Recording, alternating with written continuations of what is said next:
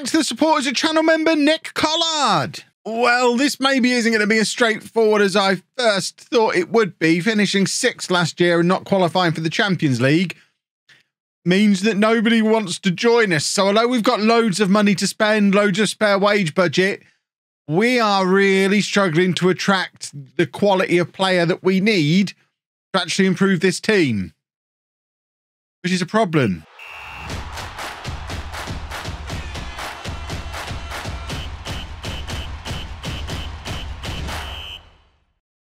Hello, welcome to Club 5, part 2 of Non-League to Legend. I'm Kevin. Coming up on today's episode, we have our first ever game in charge of Juventus, a tough away game against Milan. That's a Milan team who are predicted to finish above us. They're one of only two teams that are predicted to finish above us, and they also have more representatives in the Dream 11 as well. So Milan away, likely to be a problem. What's also a problem is the lack of transfers that we've been able to do. A month has passed since I picked up this job, and you can see we are still trying, but we've been able to do very little. We've cleared things out a little bit. We've managed to sell off um, a few of the fringe players that we're not going to be using and loan out a few of the youngsters that need some game time. But actually, in terms of bringing people in, we've signed a player on loan from Manchester City and one of my reserves from Barcelona. And that is it. This guy was already here when I arrived. So this was my first signing, Junior Mansoret.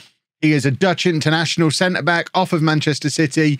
Um, he's he's very good. I mean, we've got him on loan for the season. If we win Serie A, in the unlikely event we win Serie A this season, we've got to pay him 13 million pounds as a bonus for us winning Serie A. But otherwise, we've just got him on loan for the year for 1.8 million. He actually played 29 games for Manchester City in the Premier League last year. Not quite sure why they've loaned him to us.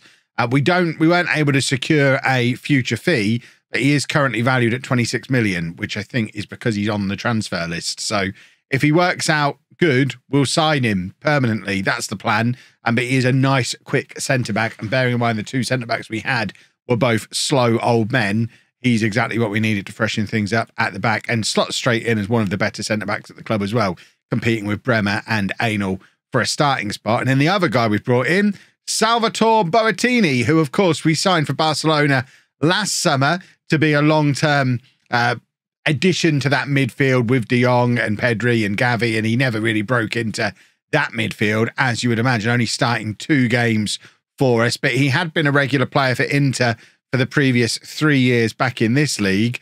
Um, although to be fair, has never started more than three games in a season, but he's played over 100 Serie A games, largely from the bench at 23 years old. Um, he's a natural at both centre back and central midfield. Central midfield was definitely the weakest area in the squad, so we needed to bring someone in uh, to offer some depth there. And Boattini, being Italian, um, it just made sense to bring in an Italian. He is now considered our best defensive midfielder and one of our best central midfielders as well. So he's likely to get a lot more game time here than he got at Barcelona. Although, as a player who's going to play as a tough tackling central midfielder with an aggression of 20, I don't think he's going to play every match this season. I suspect there might be one or two suspensions in that boy's future. But we really did try to bring in other players. In particular, we headed to Barcelona to try and raid the club that we know is in financial problems.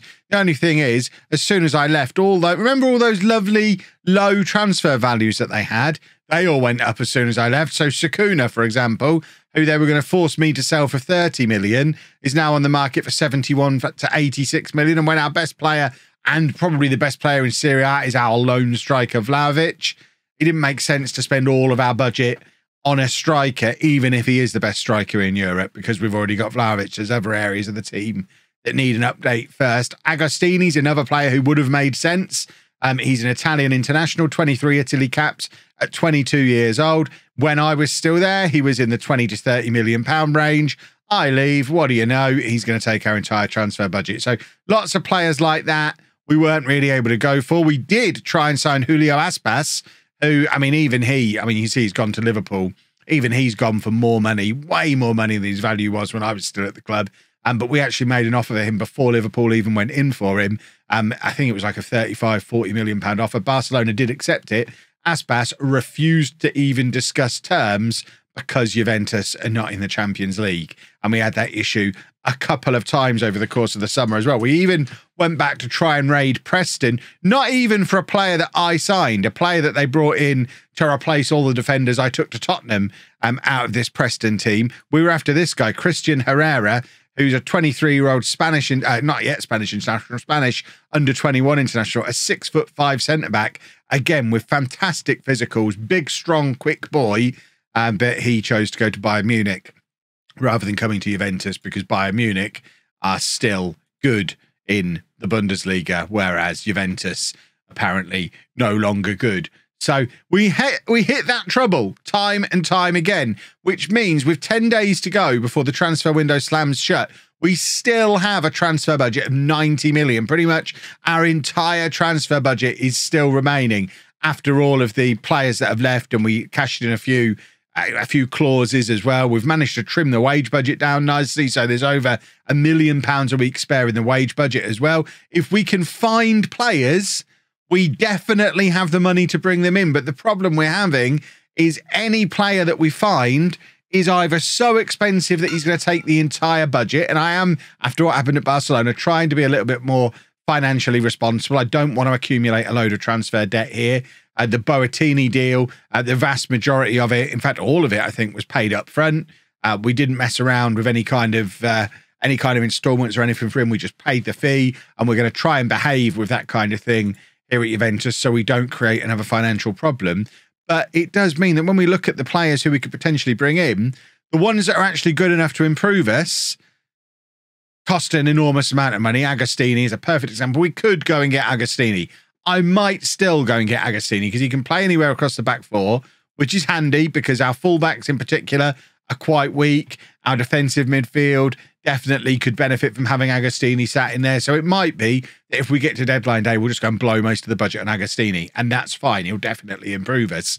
And but all of the players we could bring in are either going to take a huge amount of money, and I'd like to bring in more than one or two players. I want to bring in a like four or five. So I don't really want to spend 70, 80, 90 million in one go. Or they just won't discuss terms with us. I mean, I'm saying we could go and get Agostini, but who's to say we can? Barcelona are in the Champions League. He's a regular starter for Barcelona, a regular starter for Italy.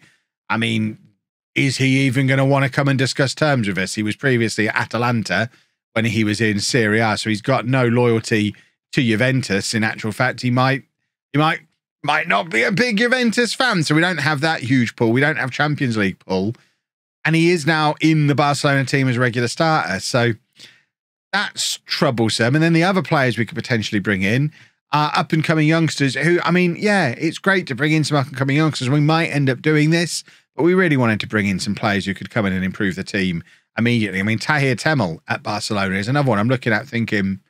I mean, we do need another midfielder probably. He is young and he would imp- he would improve us. But I don't necessarily just want to go back and raid Barcelona for a load of players who weren't getting in my Barcelona team. Because that's the thing, we've already got Boatini. If we get the other midfielder who barely played when I was there, all we're really doing is confirming to all the world that we've joined a team that's not as good as the team we've just left because we're bringing reserves from there to come and play first team now. I'm kind of, I think, talking myself into trying to sign Agostini. So let's have a chat to his agent. Um, you'd expect to be a start. So he's not saying no. He's extremely curious about making a move to Juventus. That is uh, that's good to hear. I'm ecstatic to hear you're a fan of Carmine's. I mean, I did I did invent him, so of course I'm a fan. Um, can we push his salary down a little bit? not really.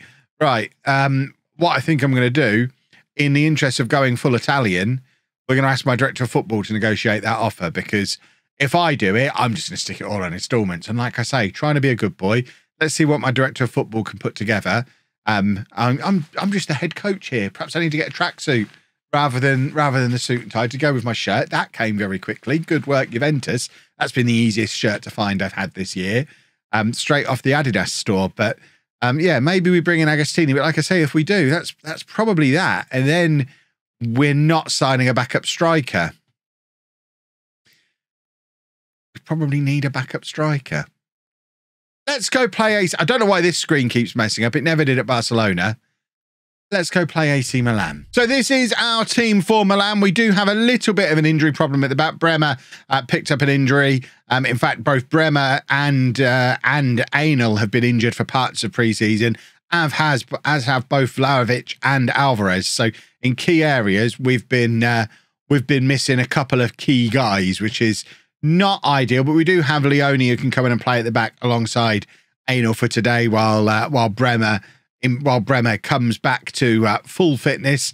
And this is our team, very, very similar to the setup we played at Barcelona. And we've got Diogo Costa in goal, a back four of Lopez, who at 30 years old has never played for Spain and is probably someone who is definitely due an upgrade. Uh, Leone, the uh, young Brazilian centre back, who we are probably going to give a lot of game time to this season, possibly even becoming our left back uh, once we get these uh, centre backs all squished into the team alongside Anel and Porro as our attacking, bombing forward right back on that side. Exactly my kind of fullback. We've got Locatelli at the base of the midfield, who at 34 now is very much going to be playing the De Jong role that we had at Barcelona, where he's just the old man who sits there in front of the back four and hopefully just sprays the ball around. I don't think he's going to be able to do the job quite as well as De Jong, but he might offer a little bit more defensive protection than De Jong did as well. So we'll uh, we'll see how he gets on in that role. Obviously, we've got Boatini who's just come in, who could play there, could play further forward. Um, and we might end up bringing in Agostini, who will play there if he comes in, um, unless he forces Porro out the side, which he probably wouldn't. And we probably won't sign him anyway. We've then got Szoboszlai in uh, in midfield alongside Baturina. They could play either way round, really. I think we probably need someone who's a little bit more of a, a specialist central attacking midfielder. I mean, Baturina can sort of do it. Um, Szoboszlai can sort of do it. I've I know. I think both of them I'd rather have in that role and have someone a little bit more flair playery, maybe. This is where you're going to start quoting attributes at me, aren't you? He's got 15 for flair. He's got uh, 16 for flair. Kev wants more flair. Yeah, I do. It'll be fine. Uh, and then on the left, we've got Fabris, who it's inexplicable why he's not been playing for Juventus for the last several seasons. He played 26 times that year. The following year, he didn't play a single game for Juventus, still played six times for Italy that season. And then another year of not playing a single game for Juventus. And by then, he's fallen out of the international setup as well. So he's not played for two years. There's not been a serious injury in there. He's never had a serious injury in his entire career. The longest he's ever been unavailable for in his entire career is nine days. Cue him doing his cruciate ligaments in this match. Um, but I don't know why he's not been playing. It's just weird. It's really, really weird. Um, but he is a right footer who can play on the left hand side. He's quick. He's skillful. I think he's going to be an absolute superstar. I don't know why he's not been playing. So he's going to play on the left. Chiesa, our captain, on the right, another of the old man brigade. And then, of course, Vlahovic up front, who is uh, the free scoring superstar of Juventus for the last 10 years or so, who we need to continue at the top of his game for at least another year if we are going to have any chance of any kind of success at this club because he's our only truly elite player at the moment. And for a team like Juventus, we probably do need more than one truly elite player, especially when you're playing against a team like Milan, who have several who are in that Dream 11 and are real top level players. Tonali, uh, De Ketelaere is in there as well. There's a few others who uh, are players who become really, really very, very good in Football Manager. Tomori as another example of one of those. I mean, it's an aging side. Kalulu, I think, is in the Dream 11 as well. Um, it's an aging Milan side, similar to how we've got an aging side here at Juventus, but theirs is an aging side that probably is of a higher level to begin with. And Diogo Costa really not selling himself to me there. People have told me a lot, especially on stream. Whenever I'm looking for a goalkeeper, his name always comes up. And uh, I mean, I'm not convinced based on the first three minutes I've seen of him. Get Dennis Simon on the phone.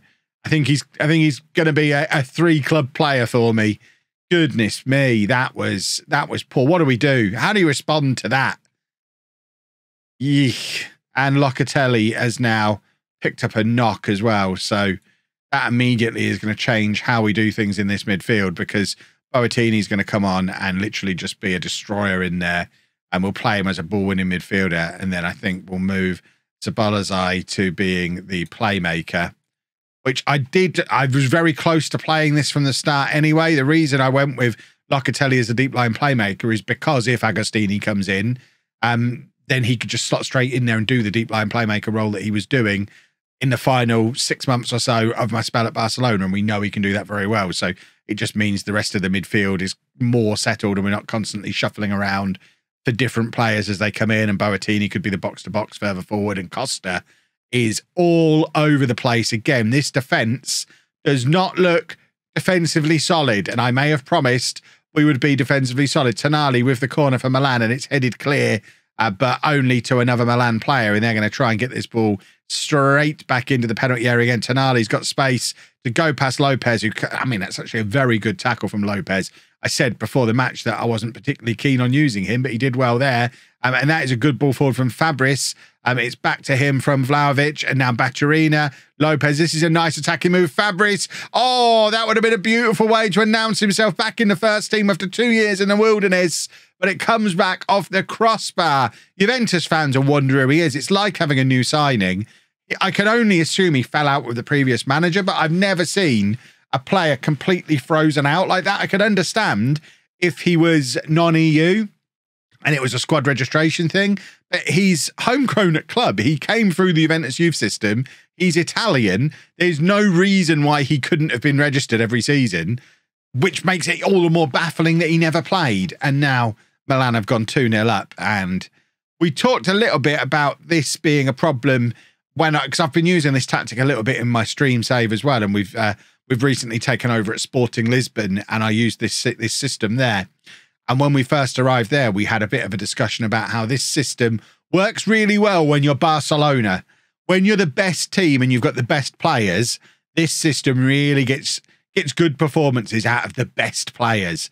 If you go up against a team where you're where you're not the best players, where you are second best on paper, and you try and play this system, this can happen, and uh, it, it's happening. I think there's going to be many times this season where we're second best on paper, but probably away against Milan is probably one of those times. Boatini's done very well there uh, to win the ball back, and we're scrambling the ball to safety. And there is Vlahovic, who, I mean, wants to be a pressing forward. I've got him playing as an advanced forward, mainly because I've not managed to get a good performance out of a pressing forward on FM23 at all. I've tried it in a few different saves. It's just not a it's not a player role that has worked for me at all. Um, so we're trying him as the advanced forward. It, that doesn't seem to be working for him. So we might switch him to be a pressing forward in the second half and see if he has a little more joy. Milan have hit the crossbar now and Porro scrambles it clear off the line. We have been really very poor in that first half. Let's change Vlahovic to be the pressing forward um, and see if uh, see if we can get more of a tune out of him. Ah, there. Is, I mean, this really emphasises the need for some fresh players in this team. We need at least one more midfielder. Um, I think we need at least one more defender. We need an attacking option as well. We might need a goalkeeper. This is what I mean about wanting four or five new players. Fabris has got the ball in the back of the net, but I think it's going to be disallowed. Um, although he's running back to the halfway line as if he knows he scored, and it has been given. So he has scored on his first game back out of the wilderness. I mean, it's it's a header. It's not quite as impressive as the one he had from range, but he's going to be my boy. He's going to be the poster boy for new Juventus. Whatever grudge the previous manager held with him, whatever reason there was that he wasn't in the team, we're forgetting it. He's one of our best players, certainly our best young player and we are going to use him. Vlahovic nods the ball down to Chiesa, who plays it back to uh, Boatini, who's in space. Baturina now fouled, I think, on the edge of the area, although apparently not. And now it's with Lopez. This has been much better from us in this second half. I guess changing Vlahovic into his natural position has done wonders for everybody in the team. Um, but now it's Milan trying to hit us on the counter attack, and Porro is out of position because he's been charging forward, supporting the attack. And Rafael Leao is quite good, and Szoboszlai, I, I mean, that's why we're playing him further forward. He's not he's not the best in the tackle there, is he? And it's a penalty. I mean, it's obviously a penalty. And what do you know? It's a penalty. Right, Costa with the opportunity now to redeem himself after a very iffy start that first half. If he can make a penalty save here, it's going to drag us back into this football match. And he does make the save. Well, Costa has gone from villain to hero in one match, and hopefully the comeback is on. It is a corner from Milan. That was a very, very good penalty save. And Szoboszlai is the one who's got under the ball again there, heading it clear. Milan still hovering around on the edge of the area, but that's a very tame shot into the hands of a rejuvenated Costa fresh off of a penalty save. We forgive him for everything that went on in that first half and just assume that it was a little bit of a blip and he'll be fine from now on. Milan knocking the ball around at the back, and we don't know how good they're going to be at that. I mean, they've moved it around us pretty easily, and now they are charging down our, our weak side defensively because Porro is pushing so far forward and they're getting a lot of space down this right hand side of ours. This time they've moved it over to our left, though, and drilling the ball across and between Costa and I think that's Anel. They managed to scramble it clear, and Fabris now playing it forward, looking for Vlahovic, who, I mean, didn't look interested. Vlahovic has been the poorest player on our pitch so far. Um, right, Porro on the right hand side plays it into Anel, and now Szoboszlai and Porro again just come on, let's let's go and have an equaliser. A draw here would be fantastic in the circumstances. Vlahovic to Fabris tries to give it back to Vlahovic, who just seems so slow. I don't know if Vlahovic is my kind of striker. I, I just don't think he's going to fit the way I want to play my fast-paced attacking teams. Although he's a finisher and he has scored a goal there, and we forget he's got two players we've written off and then forgiven. Did he manage to stay on side? The referee's got his finger in his ear. He's checking with VAR and it's disallowed. Vlahovic is done. Move him on. Does anyone want Vlahovic? I'll swap it. I might swap him for Sakuna. He'd fit, he'd fit in lovely at Barcelona. They love an old man up there. Um, right. What can we do to try and drag ourselves in towards an equaliser in this match? The Bolazai, I, I'm fairly confident I'm mispronouncing, so we should probably get him off the pitch anyway. Um, we've got, hold on, what have we got on the bench? Paolo Gervasio is okay. So he is a six foot four attacking midfielder. All right. Hello there, young man. I mean, we might just, and we've had this tactic that we're training. So let's let's let's let's have a fiddle. Let's do this. Um, you are an inverted winger, but that allows you to play in that role. Maybe this works. We probably don't want you on attack we still want to be attacking as a team and we still need my set piece instructions on. So let's just load my set pieces. They are available as a pack like this on the Steam Workshop if you want to just be able to load my set pieces in the way, the way we just did. But let's try this. Why not? I mean, we should probably make another change as well. Vlahovic, we've, I mean, we've only got Julian Alvarez as another option who he is quicker, but he doesn't suit this tactic change the way Vlahovic will. I feel like we should probably give Vlahovic 10 minutes. And he's not actually, I mean, he's actually not that. So he just looks so slow on the pitch. Um, right, let's get the new boy Mansoray on. He can come on there and we'll leave Vlahovic on for 10 minutes. Alvarez is there ready to come on if need be. We're going to demand more and hopefully we're going to find an equaliser from somewhere. But it is Milan who are on the attack again, which is not ideal. Cross comes in um, it's sort of dealt with, but there's the big boy, six foot four Gervasio. What a, I mean, what an imposing physical presence he is, lurking around the midfield. I could, uh, I could get used to that boy very, very quickly. When I was, when I was examining the squad, I didn't realise he was six foot four. Probably should have had a closer look. Right, Chiesa is shattered, so we might have to bring Alvarez on wide. Although, oh, he's rubbish. Oh my, he's quick, but he is rubbish. Let's get Alvarez on out wide on the right side, which is where I do anticipate using him more than up front, which is why I want to bring another striker in.